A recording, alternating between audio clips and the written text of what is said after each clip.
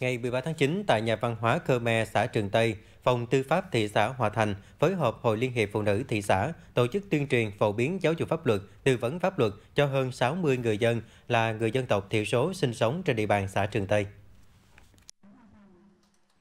Tại buổi tuyên truyền, người dân được nghe triển khai phổ biến một số nội dung của luật hôn nhân gia đình, các quy định về phòng chống tảo hôn và hôn nhân cận huyết, phổ biến những nội dung về luật phòng chống bạo lực gia đình, luật bình đẳng giới, những quy định xử phạt vi phạm hành chính có liên quan. Bà con còn được cấp phát tài liệu và sổ tay tuyên truyền về tảo hôn và hôn nhân cận huyết,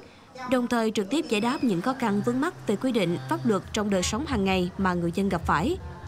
Sau buổi họp, hội tiếp tục đến nhà của người dân tộc Khmer cấp phát tài liệu và tờ rơi để tuyên truyền nội dung tảo hôn và hôn nhân cận huyết thống.